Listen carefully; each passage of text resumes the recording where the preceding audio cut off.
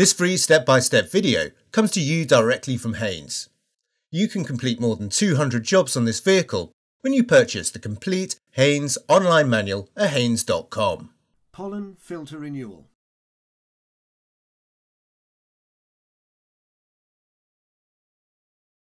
Pull the bonnet release lever located by the passenger door sill. Lift the bonnet safety catch and raise the bonnet. Unclip the bonnet prop and use it to secure the bonnet in the open position. Note that there are two positions.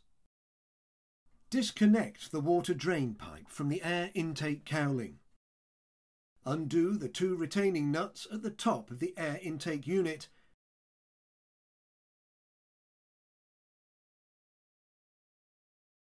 then slacken the nut at each side. Unclip the wiring loom, then remove the cabin air intake cowling. Unclip the pollen filter element and manoeuvre it from the cowling.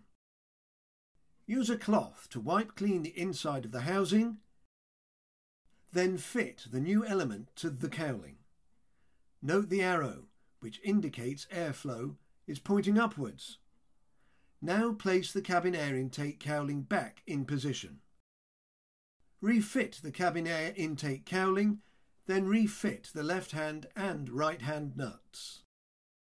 Now refit and tighten the two retaining nuts at the top of the unit and clip the wiring loom back into place.